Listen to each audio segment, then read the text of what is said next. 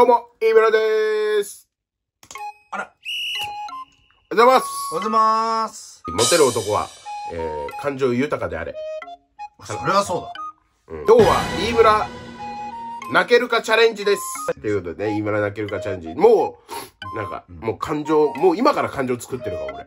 あ、そう。うん。あんま、あの、面白いことも言えないかもしれないけど。いや、そんなのいつもじゃないですか。おいおいおいおいおい。それでは参りましょう。はい。飯村、頑張るチャンネルうんここあんま長いとカットするんで。はい。暗い。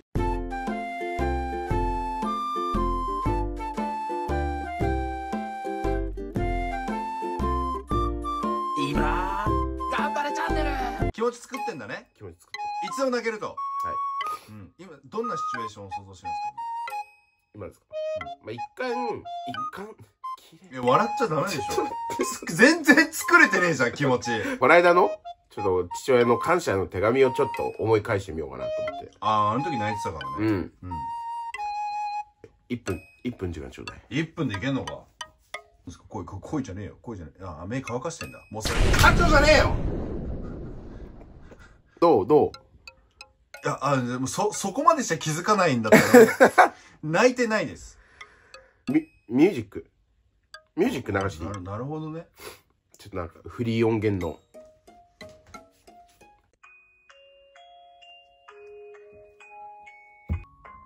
ちょっといいですか？はい。いや、普通に、スーパー銭湯じゃないですか。スーパー銭湯のなんか休憩所みたいな感じになってますいや、心地よかったけど。あでもな、泣けるんすね？泣ける泣ける。うんじゃあ行きますよ。あとはじゃあ母の日もあったから、ちょっと感謝の気持ちを言うわ。あ、お母さんに？うん。うん。まあこの年になって、あんまりね、お母さんに言うこともないですけど、やっぱ母が強いっていうのはやっぱすごいなって思って。なるほど。やっぱり、いる時間が長い分、母親の偉大さにこの年になって気づく。やはり一番嬉しかったのは、まあ僕が中学校やで、軽いいじめを受けてた時も、すいません。うん、あんた嫌なら学校に行かなくていいんだよと。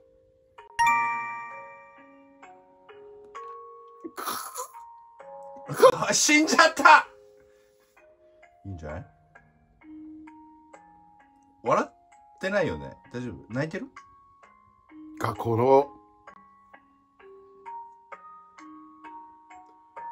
先生とってくれたこともありましたね。高校に行き、僕は浦和学院と。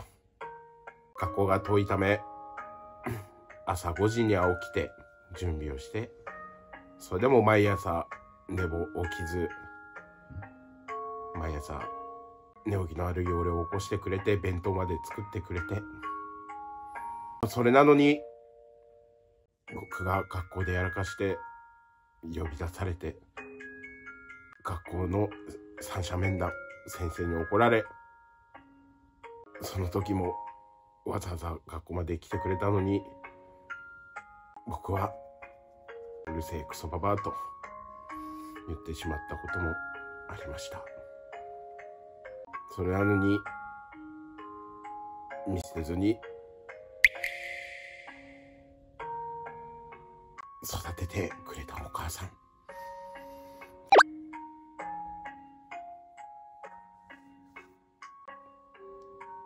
ドラ息子でありますが、頑張ってます。ありがとう、お母さん。どう？泣いてます お母さんにうん感謝するんだったら、うんまあ確かにその話もすごい素敵だと思う、うん。うん、野球のさしゅんちゃんが野球やってる時にさ、うん。外野フライ取ったらさ うんこ漏らしてさその着替えも持ってきてありがとうっていう話はちょ、おいおいおいおいおいおい。やった方がいいと思うんだけどな。おいおい。中学の朝練の時に、レフト守っててフライキャッチジャンプしたらうんこ漏らしちゃった話は今いいだろ最近飯村さんは僕の中良い彦と花をしたら 血が出てしまいました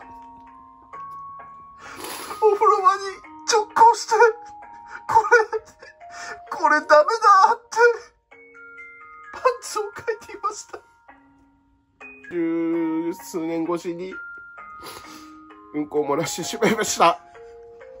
100%の力で、肛門を解放し、そしたら、熱っってなって、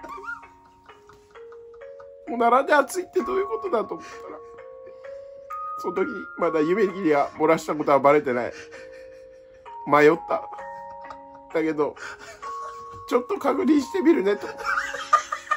パンツ裏返したら、ちゃんとうんこがついてました。ちょっと。誰がうんこで感動すんだよだよ、涙で始まってうんこで終わるって。そんな演目聞いたことねえよ。高評価チャンネル登録、い。お願いします。お願いします。それでは、張り切って参りましょう。はい。いいブロー頑張れチャンネル。うんこマン。いい村。いい村頑張れ。いい村頑張れチャンネル